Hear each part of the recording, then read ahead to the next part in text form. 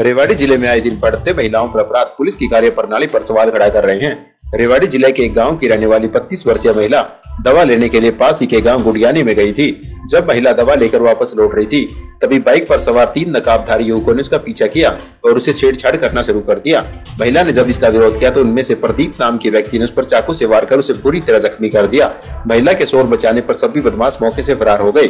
जख्मी महिला को प्राथमिक उपचार देने के बाद रेवाड़ी के नागरिक अस्पताल में भर्ती करवाया गया, जहाँ उसकी हालत नाजुक बनी हुई है। तीन बदमाशों में से एक को महिला पहचानती है, जिसका नाम प्रदीप है। जो मोहद्दीनपुर का रहने वाला है प्रदीप बिजली विभाग में कार्यरत है। प्रदीप कुछ रोज पहले पीड़िता के घर अचानक घुस आया था जिसका विरोध महिला ने किया था। प्रदीप महिला को जाते समय धमकी भी देकर गया था कि वो उसे देख लेगा। आज प्रदीप ने रंजिश निकालने के लिए महिला का पीछा किया और छेड़छाड़ के बाद उसे चाकू से जख्मी कर फरार हो गया। परिजनों का आरोप है कि वारदात की सूचना के छह घंटे बीत जाने के बावजूद भी पुलिस पीड़िता के बयान लेने अस्पताल नहीं पहुँची। क्या हुआ? जी मैं दवाई लेके आ रही थी और रास्ते में इन लड़कों ने मोटरसाइकिल आड़ी कर ली। रोक ली। तीन लड़के थे। और फिर इन्होंने मेरे साथ छेड़छाड़ करी, मारपीट करी है इन्होंने मेरे साथ। और फिर मैंने अपने बचाव के चक्कर में उन्हें भी छेड़ मारा थोड़ा, एक थप्पड़ तो मारा। और उन्होंने फिर मुझे उठाने की कोशिश करी। और फिर मैं पैसे लेके निकाल दिया और चलते मैंने रुक्का मारा। कोई आदमी आया। फिर वो है ना, चलते समय से चक्कू मार के भाग गए। कौन पैसे ले। जानते थे कौन? उनमें से एक लड़के को जानती हूँ मैं प्रदीप नाम है उसका। कहाँ का रहने वाला है मोदी पर का। क्या करता है वो? बिजली बोर्ड में लग रहा है। बिजली बोर्ड में लगा है। पुरानी रंजिश है तो- जी नहीं। वो कभी आप पहले तीन चार दिन बाद आपके घर पे भी आया था? आपको धमकी देख गया था जी। हाँ, तो उसी की? रंजिश निकाली है? जी। तो वो क्या मामला था? पता नहीं ऐसे ही। वो एक घर में आ गया था। और हमारी बहू थी एक अकेली थी। हम्म, तो हमने उसे यही पूछा कि अकेली है आप घर के बाहर निकलो। हम्म, तो फिर वो माना नहीं। फिर कुछ हाथ सफ़ाई हुई फिर वो धमकी दे के गया।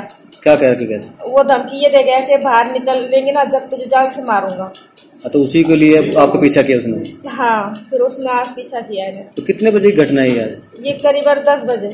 तो पुलिस को सूचना नहीं किया आपने? सुबह से पुलिस को पता है पर पुलिस अभी तक कुछ कर ही नहीं रही है। पुलिस अभी तक अभी आई नहीं है पुलिस? नहीं। सुबह दस बजे पुलिस को कॉल किया था पुलिस अभी तक नहीं आई है। हाँ। पुलिस कोई कार्रवाई नहीं कर रही है। हाँ। कितने घंटे बीत गए जो पुलिस अभी तक नहीं आई? दस बजे आठ ये भी तो क्या टाइम हो रहा है पता तो तीन बज रहे हैं। अभी पाँच घंटे हो गए जी अभी तक पुलिस का कोई लापता नहीं है कोई कोई कार्रवाई नहीं। है सर ये लड़का जो प्रदीप नाम का लड़का जो मोदीपुर से है ये हमारे पालास बिजली बोर्ड में है।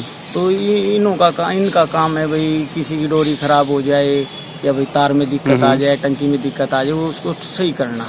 ये कुछ टाइम पहले ज़्यादा पाँच सात दिन की बात है ये अकेली थी दीपा इसके घर में डोरी चेक करने के बहाने ये बढ़ गया था। तो दीपा ने इसको धमका धमका दे तुम आ- मैं अकेली तू आ कैसे गया? इसी इसी कारण वो चलता हुआ नूला देख लेंगे। तो कि मैं एक आधे थप्पड़ मारे कि परिवार वाले थे उन्होंने भी एक आधे इसके थप्पड़ मारे। फिर ये भाग भी आज ये अकेली जाड़ का दर्द है इसके जाड़ में? ये गुड़ियाने के लिए गई थी सुरखपुर रोड से भीतर अंदर जाते हैं। उसी रोड पर दांतों का हॉस्पिटल है। वहाँ दवाई लेके वापस जब आ रही थी उसी टाइम ये तीन थे। एक तो प्रदीप था दो इसके साथ और थे। इन्होंने डाठा मार रखा था। इन्होंने पहले तो इसके मारी है फिर उठाने की कोशिश करी है। जो छेड़खानी भी है छेड़खानी करी फिर यह चिल्ली मारी जब आकर गुच गाच मारा लात लूट मारी है फिर इसने मोटरसाइकिल पर बैठाने की kidnapping की कोशिश हाँ पूरी कोशिश करी है। फिर इसने रुका मारा है। उसी टाइम का उसी टाइम पे लोग बाग दो तीन आदमी वहाँ आए उन्होंने देख के वो भागने लग गए। तो इसका जो वो जोड़ा सा बटुआ सा ले रही थी वो पड़ गया। उसमें जो पैसा था वो पैसा भी लेके गया। और चालता चक्कू मार रहे थे वो छाती पे और लग गया हाथ पे। रही बात दूसरी ये घटना दस बजे की है जो कि अब तक पुलिस कोई कार्रवाई नहीं की है। अब कितना समय हो गया होगा? जिसमें मोदी सरकार ये कहती बेटी बचाओ बेटी पढ़ाओ कहाँ से पढ़ाए कहाँ से बचाए जब उसकी सरकार में ये हो रहा है। कितने घंटे बीत गए ये घंटे करीबन करीबन तो छह सात घंटे की बात हो चुकी है जब तक आज तक पुलिस का कोई कार्रवाई नहीं हो रही है। न्यूज़ वालों का जो कि हमारी बातें ऊपर गरीब आदमियों की बातें ऊपर ले जा रहे हैं। ना तो पुलिस वालों को लेके तो कुछ भी क्या होता रहे कोई दिक्कत नहीं इनको। कोई टेंशन नहीं किसी प्रकार की।